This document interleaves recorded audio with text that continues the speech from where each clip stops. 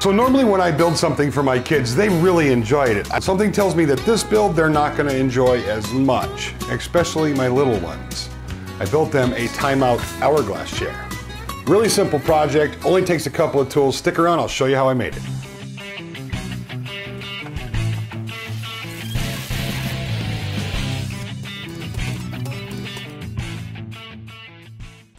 For today's project, I'm using a laminated panel and some 1 and an inch dowel I picked up from Home Depot.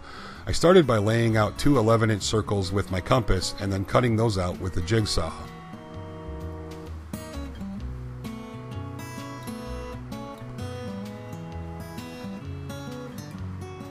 Now take your time and cut as close to the line as possible, but it's really not a big deal if you get a little bit off with projects like this. It's really easy to hand sand out any imperfections pretty quickly. So this is the top and the bottom of the stool. The next thing I need to do is decide how much distance there's going to be between the two pieces and to cut my dowel lengths. Now to do that I need to know how tall the hourglass is going to be so I'm going to make that first. With a Coke bottle there's a really nice rimmer on the top that you can follow with a pair of scissors and it gets it really flat. The next step is to connect the two, and I'm going to do that with a piece of 2x4. I started by drilling a really small hole all the way through, and then used a Forstner bit to drill two holes from each end, not quite going all the way, penetrating all the way through the material, and then use a 3 8 bit to drill out a hole in the center, and this will restrict the flow of sand. Now once that was all done, I drew a circle around that whole section that I just did, and I'm using my jigsaw. I'm going to take my time with this because in thicker material it's really easy to get the, the blade to flare out so you end up with uneven cuts. Just take your time and if you do get a little flare out it's not really a big deal. Again, small project, easy to clean up with some hand sandpaper. Now the only thing I have left to do for the hourglass is cut out two pieces that'll fit inside the Coke bottles.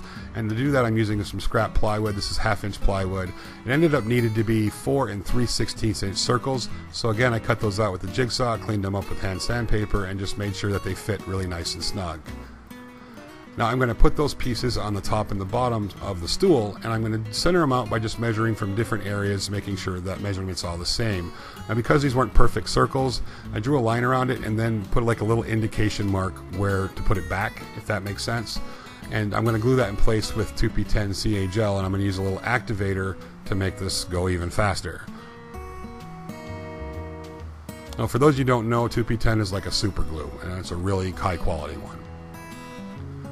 So I did that on both the top and the bottom section and then I'm going to do the same. I'm going to use the, the super glue to glue the two pieces of Coke bottle to my little center flange or whatever you want to call it.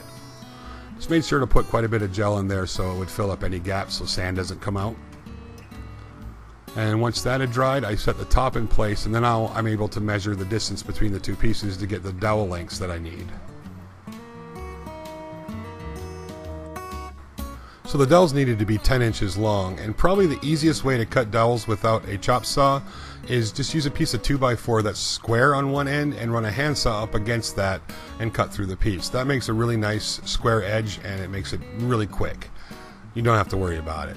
So now the next step is just to start putting this thing all together. And to do that, I'm using again 2P10CA gel. You could use silicone as well, uh, but the, the CA gel is really fast.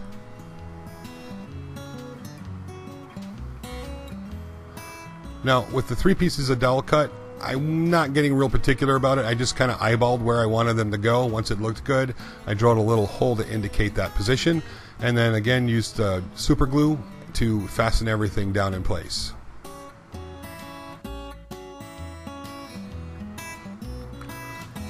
Now, once I had everything glued in place, I needed to add the sand. I'm just using some play sand I picked up from Home Depot as well, and I kind of just dumped it in and counted how long it went to, or how long it took to sift through, and it was about a minute, minute and a half, and that was fine. This one's going to be for my one and a half year old, so it doesn't need to be very long. Now, if you wanted something to run a little longer, that you need to make the hourglass bigger to hold more sand. Once the sand was in, again, I just added some uh, super glue to the places that needed to be glued, and then I came back and added screws from the top going into the dowel in both the top and the bottom of it, and this is going to hold everything together.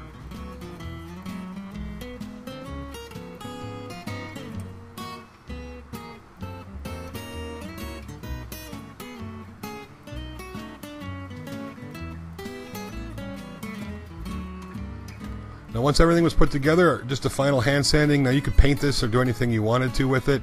For me, I kind of like the wood look. It's simple, it's easy, and I'm not going to worry too much if it gets beat up. This was a really fun project. I built a larger one for my three-year-old, and uh, they've already started using them. Unfortunately, they kind of enjoy using them. That is not exactly the way I plan things. Thanks for watching. Don't forget to like and subscribe, and we'll talk to you soon.